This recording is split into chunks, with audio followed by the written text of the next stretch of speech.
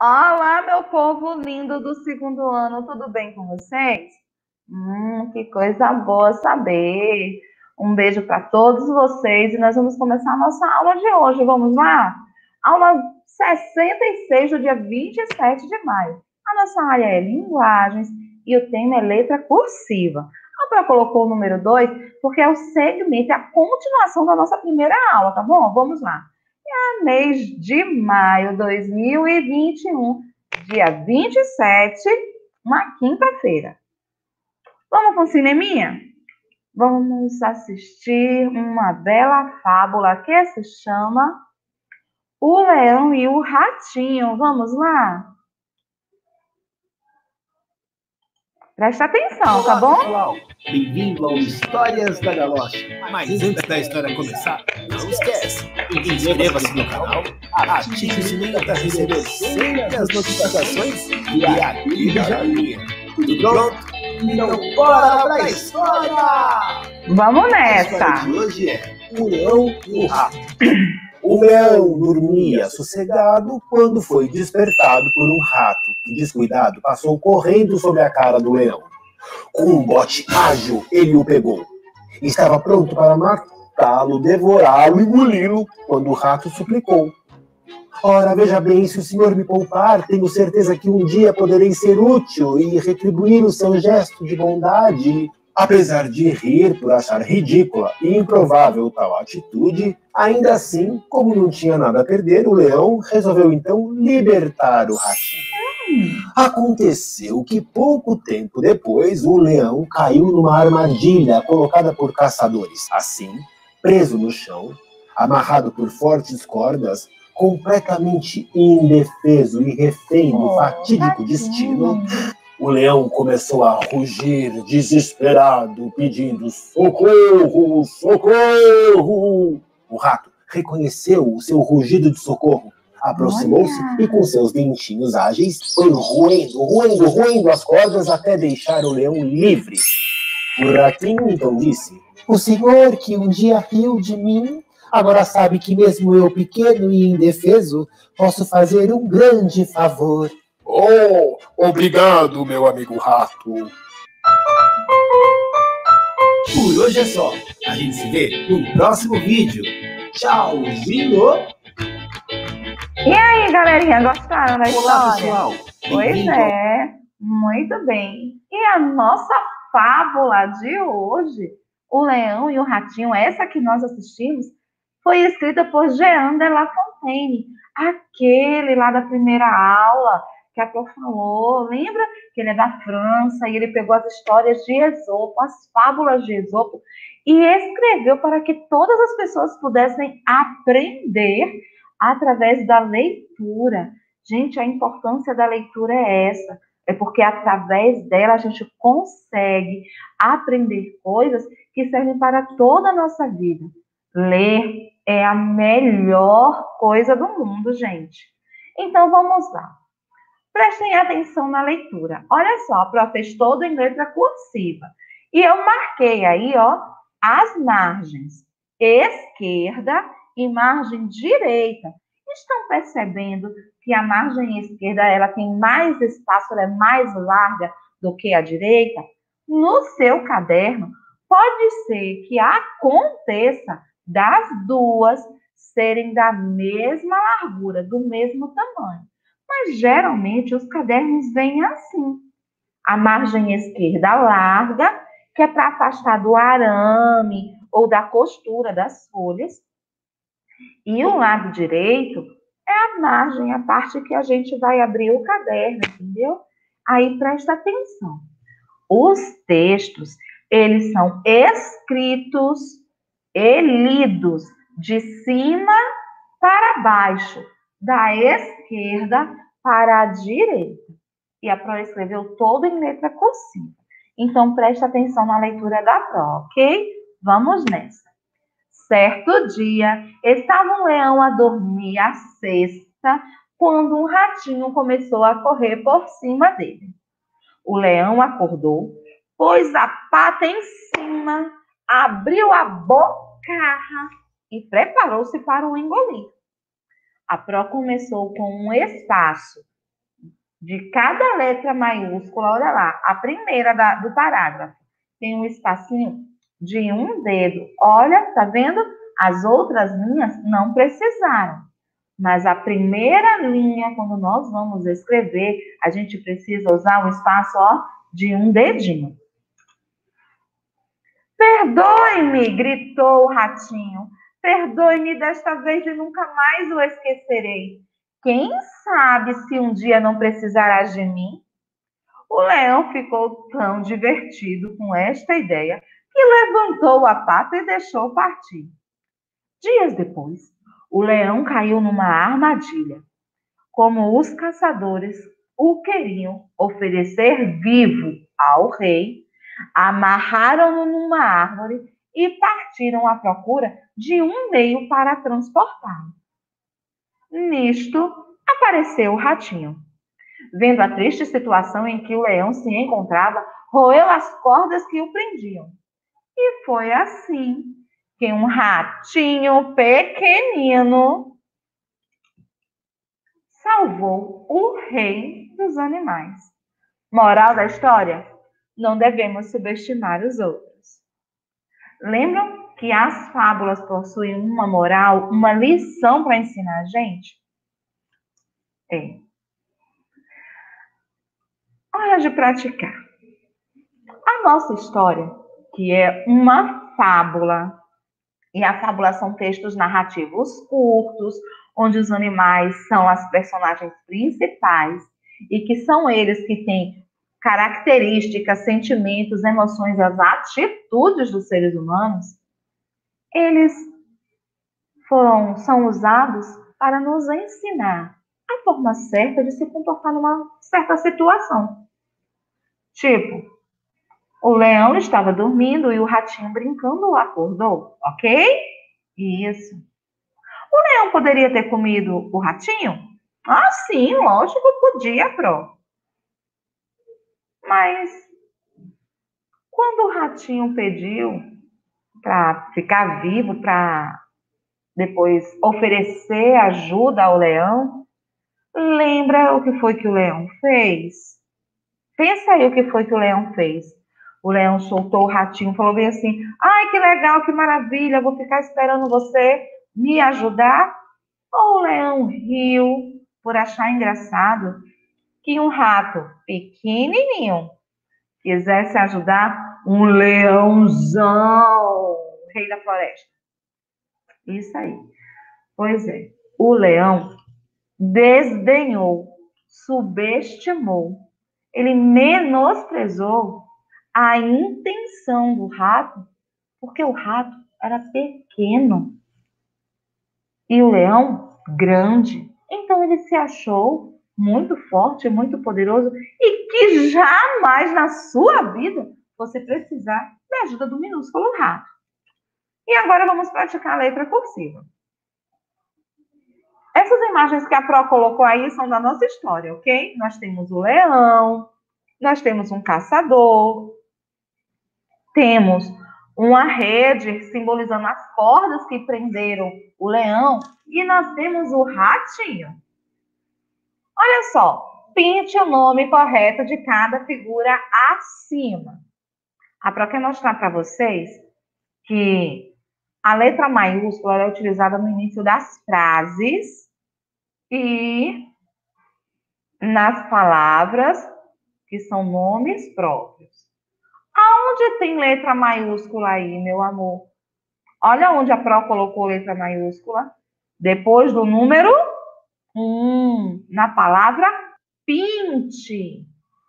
E as palavras que estão lá embaixo, que nós vamos pintá-las agora, elas estão todas escritas com letra minúscula, porque não é o início de frases e não são nomes próprios de nem os animais, nem de pessoas, ok?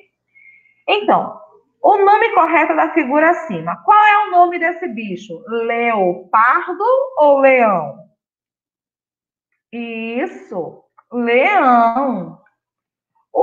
Que está ali de jaquetinha, de boné, com a espingarda na mão, ele é um policial ou ele é um caçador? Hum, muito bem, um caçador. E aquela rede ali, ela simboliza a rede, ela simboliza cordas. Se você responder rede, vai estar certo, ou se você responder cordas, também vai estar certo. Por quê? Porque a Pro trouxe duas histórias. Uma história falou sobre cordas e a outra história falou sobre rede. Então, nessas duas, a Pro vai considerar certa a opção, ok? Ótimo. Então, fique tranquilo, porque na historinha que eu trouxe o vídeo, falava sobre cordas. E o último desenho é um gato ou um rato? Isso, muito bem, o rato. A Pro colocou também ó, as margens e para você ver como é que você deve copiar no caderno. Quando for as questões das atividades, o número 1 um é coladinho com a margem e em seguida o ponto e letra maiúscula, ok? Mas quando for frases de textos, essas coisas, você tem que deixar a margem de um dedinho. O caçador. A Pro escolheu o caçador. Nós vamos fazer uma lista sobre coisas que um caçador usa. Olha a roupa do caçador, vê como é que o caçador está vestido. O que é que o caçador usa? Vamos lá. O caçador usa barraca. Pra, mas ele não veste a barraca, mas quando ele acampa na floresta, na mata, e ele precisa se abrigar, geralmente eles usam usam isso, barraca. E também tem outros elementos que não estão na figurinha, mas que a gente vai falar sobre eles. Por quê? Porque são coisas que um caçador usa. E na imagem não tem todas as coisas que um caçador pode vir a usar ou precisar nas suas caçadas. Então, ele usa barraca para se abrigar, olha o boné para se proteger, a bota também para proteger os pés. O que mais que o caçador usa? Um cantil, muito bem, um cantil para usar, para colocar água, né? O que, que ele usa mais? Um colete, ó, ele vestidinho com colete para proteção. Usa cordas, sim, usa cordas. Nas nossas duas histórias, os caçadores que prenderam o leão, eles usaram corda, tanto para fazer a rede quanto para amarrar mesmo. O que mais que o caçador usa? Uma espingarda. Muito bem. Usa facas também. Usa faca para cortar a corda, usa faca para se alimentar, né? Para cortar carne, para cortar uma fruta. É, então, ele, caçador, também usa as facas. E também ele usa panelas. Para ele vai usar panela, é lógico, gente. A pessoa está lá no meio do mato fazendo a caçada, não tem iFood, não. Não tem condição de você pedir lá no zap, não. Vai ter que cozinhar, vai ter que caçar, usar a faca para tratar o bichinho que pegou, ou a fruta, e usar as panelas. É. Então, eu quero que você preste atenção está em letra cursiva e as palavras estão em ordem alfabética. Barraca, boné, bota, cantil, colete, cordas, espingarda, facas e panela. Letra B, letra C, E, F e letra P de pato nós vamos olhar a primeira letra para organizar em ordem alfabética. Depois nós vamos olhar a segunda, a terceira e assim por diante. Pronto. Animais grandes e animais pequenos. Você já estudou, você já viu, você assiste filmes, desenhos, séries você tem animais na sua rua ou na sua casa. E você também lembra da nossa aula sobre os animais silvestres e os animais domésticos. E nós sabemos muito bem que existem animais de pequeno porte, de médio porte e de grande porte. E aí, olha só, nós vamos agora escrever três nomes. Três nomes de animais grandes e três de animais pequenos. Vamos lá? Coloca aí no chat os animais grandes. Coloca o nome de animais grandes. Aí depois você manda de animais pequenos. Vamos lá. O primeiro animal grande que a Pro colocou? Elefante. Isso mesmo. O elefante. O outro animal que a Pro colocou foi a girafa. Muito bem. E tem gente que vai colocar os mesmos bichos que a Pro. É legal. Vamos lá. E o próximo animal grande? O gorila. Vocês já assistiram o filme de Tarzan? Ah, eu gosto. Então, o desenho também. Então, existem os macacos de vários tamanhos. Tem de pequeno porte, tem de médio porte, tem de grande porte. E o gorila, ele é um dos macacos de grande porte. De pequeno porte, vamos lá. Os de pequeno porte são aqueles pequeniticos. Vamos lá, vamos lá. Coloca aí no bate-papo para ver o tanto que vocês estão ligadinhos com o assunto animais. Vamos lá? O que eu coloquei o primeiro é coelho. Fofinho, lindinho, orelhudo. Hum.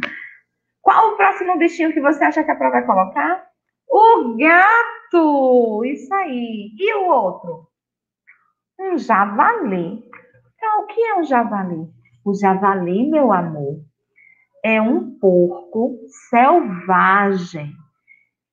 Você sabe Timão e Pumba? Pois, muito bem. O timão é um lêmure.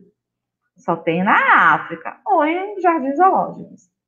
E Pumba é um javali. Ele é um porco selvagem, um porco do mato. É. Para quem não lembra quem é Timão e Pumba, é aquele desenho que canta Hakuna Matata. Agora você lembra, né? Vamos lá. A Pro trouxe dois vídeos com dicas. Preste a atenção. E essa letra cursiva. Eu trouxe duas dicas para vocês. Principalmente para quem tem muita dificuldade em fazer a letra cursiva, porque tem dificuldade em fazer os movimentos circulares. Então, o que, que a Pro fez? Para essa dica, vocês vão precisar daquele saquinho transparente ó, de fruta e verdura do mercado, uma canetinha hidrocor e papel. A Pro não está usando papel ofício. A Pro tem um papel aqui que é grande e não cabia dentro do saquinho. O que, que a Pro fez? Cortou para caber no saquinho de verdura dela, porque era pequenininho. Olha só, aqui tem a letra A maiúscula e minúscula a letra B maiúscula e minúscula, C, D, E, e a última letrinha, que é a letrinha Z. E aqui embaixo eu escrevi o meu nome com a letra cursiva, para mostrar para vocês como vai ser fácil, a partir dessa dica, você desenvolver. Porque é muito importante que na sua idade e na sua série seja desenvolvida a letra cursiva. E a gente precisa treinar bastante. Olha só, o papel todo dentro do saquinho. Olha como fica. Tá vendo? Aí, olha só. O que, que você vai fazer? Você vai pegar a sua canetinha e interessante é que você não saia de cima da Presta letra. Presta atenção na dica, viu? Olha só. Letrinha A. Da hora que começa, sobe, faz a curva, desce. Acabou a letrinha? Corta.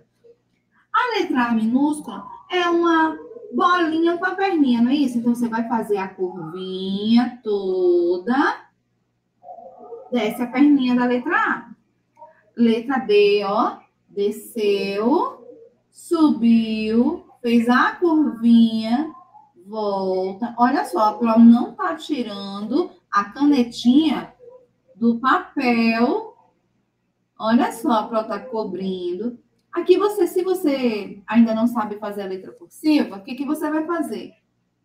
Pede para um adulto, para a pro da banca, para uma pessoa que te ajuda com atividade, fazer isso para você. E você vai treinando. E o mais legal de tudo, letrinha D agora, ó. Desce, faz a curvinha, sobe, faz aquela barrigona, letra D maiúscula. A letra D minúscula lembra a letrinha A, ó. É a barriguinha, volta, sobe e desce. Letrinha E de Elida, de Érica, de Emily, de Ernesto, de Ezequiel. Olha só, letrinha E de Élida e agora é de escola, de escova. Letra Z, a última letrinha do alfabeto. Olha só, a letra Z cursiva, ela parece ser a maior de todas, não é, gente? Não é, não. E parece muito com a letrinha minúscula. Você só vai aumentar para a gente perceber que é uma letra maiúscula, principalmente quando for escrever nome de pessoas e nome de lugares, são os nomes próprios. Aí, olha só, que agora a prova vai fazer o nome dela, presta bastante atenção, ó. Você só vai tirar quando a letrinha acabar. A letrinha E, que é a primeira, ela faz a curvinha aqui, ó. Parou aqui dentro, aqui eu vou tirar o acento de Élida. Agora, olha só o que, que a prova vai fazer. Vai tentar levar Então, olha. a cobertura todinha. Olha só, a prova não tirou o lápis, que no caso é a minha canetinha, do papel. Olha, viu? A Pro só tirou agora para fazer a bolinha do I. Essa é a primeira dica. Mas tem uma coisa bem legal dessa dica que eu vou mostrar para você. Lembra que a Pro disse na aula de linguagens que eu amo a esponjinha? Aquela que eu ensinei a fazer o quebra-cabeça. E nós vamos usar um pouquinho de álcool. Você vai ver uma mágica acontecer. Essa dica aqui você pode usar várias vezes. A Pro vai jogar um pouquinho de álcool em cima do plástico. E olha, Vou limpar toda, tudinho, ó, para limpar tudo. E aí você pode utilizar tanto o papel novamente, porque ele vai estar protegido pelo saquinho, quanto usar o próprio saquinho. Ó, aí a prova limpando. E agora nós vamos... Vocês entenderam, meus amores? Pronto. Vocês, assim, você vai pegar um saquinho, pode ser o saquinho, um plástico, alguma coisa, e você vai apagar. Aquela dica que a Pro deu é para ajudar realmente você nesse movimento, porque a letra cursiva é uma letra em curvas, e a falta desse movimento, porque hoje em dia é um tal de jogar, né? Só ficar com os dedinhos assim, ó, desse jeito, né, no celular, ou assim, assim. E o que que acontece? A mãozinha vai ficando dura e você só vai querer escrever em bastão. Mas todas as letras são muito importantes no nosso processo como aluno para a nossa aprendizagem, tá bom? A outra dica também é essa aqui, muito legal. A do plástico é reutilizável. Você pode passar esponjinha ou papel com álcool e estar sempre limpando o saquinho plástico. Vamos para a segunda dica. Nossa segunda dica. O que, que você vai precisar? Dos cartõezinhos com as letras cursivas. Pode ser aquela mesma, ó, tá vendo? A folhinha tá aqui limpinha. Ou pode ser assim maior. Você vai precisar de um pratinho raso. E aqui, ó, aqui é fubá fubá de fazer cuscuz, fubá de fazer mingau e também pode ser farinha de trigo. O que que você vai fazer? Você vai fazer o contorno da letra aqui. Olha só. A letra A é assim. Desce, faz a curva, sobe, faz a curva, desce e corta. Ó. Olha só. Cortou ok? Então, aqui não vai ficar uma letra perfeita como no papel. Aqui é para ajudar você a desenvolver. Aí a Pro agora, ó, vai consertar aqui como se fosse a borracha. E agora nós vamos fazer a letra M de Maria. Ó. M de Maria. Aí você volta, junta o fubá de novo e vamos fazer a letra M de macaco. A letra M de macaco e a letra M de Maria é a mesma, Pro? É a mesma, sim. Só que uma é maiúscula e a outra é minúscula. Aqui é para você desenvolver a coordenação motora necessária para fazer a letra cursiva. E aí, meus amores, viram como é fácil? Se você ficar praticando, você vai ficar, ó, com a sua mão, com o movimento, você vai criar a habilidade de fazer os círculos. Uma outra dica bem legal para quem tem a mãozinha durinha é uma bolinha. Sabe aquelas bolinhas pequenininhas? Você pega e começa a esfregar assim. Bota na mesa e vai esfregando. E você pode ir apertando a bolinha e fazer esse movimento. Porque hoje em dia, os brinquedos eletrônicos tiram de nossas mãos a habilidade para fazer a letra cursiva mais fácil. Então, espero que vocês tenham gostado das dicas e que vocês pratiquem e que vocês possam entender que a leitura e a escrita são passaportes para um mundo de descobertas. Então, ó, um beijo no seu coração e até a próxima aula.